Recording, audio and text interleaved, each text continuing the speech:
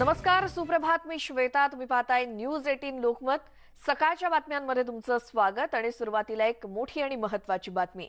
इफ्कोनं एक नवी क्रांती केली आहे आणि त्यामुळे बळीराजाचं आयुष्य सुखकर होणार आहे. इफ्कोनं बनवलेल्या नॅनो युरिया लिक्विडची पाचशे मिलीलिटरची एक बाटली सामान्य युरियाच्या एका गोळीच्या बरोबरीची आहे. इफ्कोनं शेतकऱ्यांसाठी पाचशे मिली नॅनो युरियाच्या एका बाटलीची किंमत दोनशे चाळीस रुपये निर्धारित केली आहे जी सामान्य युरिया खताच्या गोणीच्या किमतीपेक्षा दहा टक्क्यांनी कमी आहे. त्यामुळे आता एक गोणी युरिया खताच्या ऐवजी फक्त अर्धा लिटर नॅनो युरिया लिक्विड पुरेसं ठरणार आहे.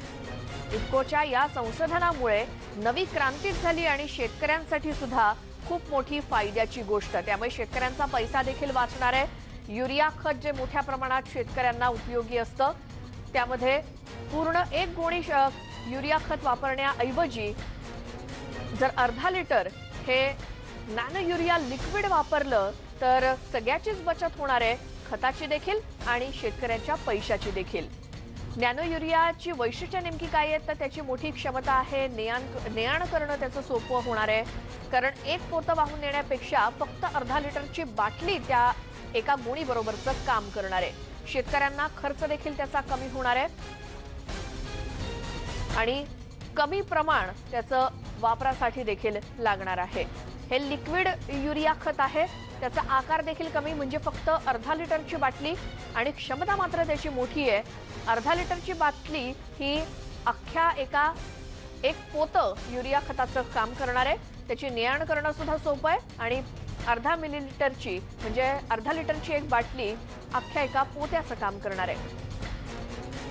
यावरतीच कृषी अभ्यासक उदय देवळाणकर यांनी काय माहिती दिली आहे तीही ऐकूयात. युरिया म्हणजे काय आपण लक्षात घेऊ? युरिया हा अमाइड फॉर्म मधलं एक केमिकल आहे. आणि युरिया बनवताना आपण हवेला जाळतो म्हणजे त्याचं बर्निंग केलं जातं आणि याच्यावर गार पाण्याचा शिडकावा करून C O N H two twice असा तो फॉर्म्युला आहे. आणि याचे ग्रॅन्युल्स आपल्याला मिळतात. आणि हे टॉप ड्रेसिंगसाठी म्हणजे आपल्या शरीरातली प्रथिनं किंवा वनस्पतीच्या शरीरातली प्रथिनं याच्यामधला फार महत्त्वाचा घटक नायट्रोजन असल्यामुळं नत्र असल्यामुळं त्याच्यासाठी वापरलं जातं. पण याचे काही तोटे की जमिनीत टाकल्यानंतर ज्या काही रासायनिक प्रक्रिया होतात या रासायनिक प्रक्रियांमुळे बऱ्याच वेळा जमिनीचा पोत खराब होणे त्याची एकूणच केमिस्ट्री खराब होणे अशाही समस्या येतात. जमिनीतले जे जैविक घटक आहेत त्यांच्यावर हा युरियाचा मोठा वापर नकारात्मक परिणाम करतो. याशिवाय आपल्याला जवळपास पस्तीस दशलक्ष टन युरिया देशामध्ये वापरावा लागतो. त्याच्यावर जवळपास सहाशे करोड रुपये आपण अनुदान देतो. आणि यासाठी नॅफ्ता हजारो करोड रुपये देऊन आपल्याला इम्पोर्ट करावा लागतो. कारण जे हवेचं ज्वलन आपल्याला करायचं असतं त्याच्यासाठी नॅफ्ताची आवश्यकता असते. आणि म्हणजे युरिया तयार करताना देखील प्रदूषणाचा समस्या आपल्यासमोर उभी राहते पर्यावरणाचा ऱ्हास होतो. जमिनीत टाकल्यानंतर जमिनीतला सगळ्यात महत्त्वाचा गुण ज्याला म्हणतो आपण कॅटायन एक्सचेंज कॅपॅसिटी म्हणजे हे जे खत एक्सचेंज होतं रूट सरफेसला म्हणजे मुळांच्या मध्ये जाण्यासाठी जी प्रक्रिया असते त्याच्यात त्या जमिनीची हे एक्सचेंज करण्याची क्षमता किती? म्हणजे कॅटायन एक्सचेंज कॅपॅसिटी किती? त्याच्यावर अवलंबून असतं. त्यामुळे युरिया अशाच जमिनीत जास्त चांगलं काम करतो ज्यांची सीईसी म्हणजे कॅटायन एक्सचेंज कॅपॅसिटी चांगली आहे. नॅनो टेक्नॉलॉजीमुळे काय होणार आहे? की जमिनीची क्षमता कमी जास्त असली तरी सर्व प्रकारच्या जमिनीमध्ये ह्या प्रकारच्या नत्रयुक्त खताचा वापर आपल्याला शक्य होणार आहे. दुसरी गोष्ट आपल्याला वाहनामध्ये आणि सीझनमध्ये जेव्हा अतिवृष्टी होते त्यावेळेला बऱ्याच वेळा युरियासाठी रांगा लागलेल्या आपण पाहिलेल्या आहेत. पण याचं हँडलिंग याचं डिस्ट्रीब्युशन अतिशय सोपं होणार आहे. आज याची किंमत कम्पेरेटिव्हली फारशी कमी नाही दहा टक्क्यांनी कमी होते पण त्याचे इतर फायदे आपल्याला प्रचंड होणार आहेत. आणि म्हणजे वेळेवर खत देणे आणि अचूकपणे उत्पादन वाढ घेणे. दुसरा युरियाचा एक फार मोठा दोष आहे की युरिया थोडा जरी जास्त झाला बर.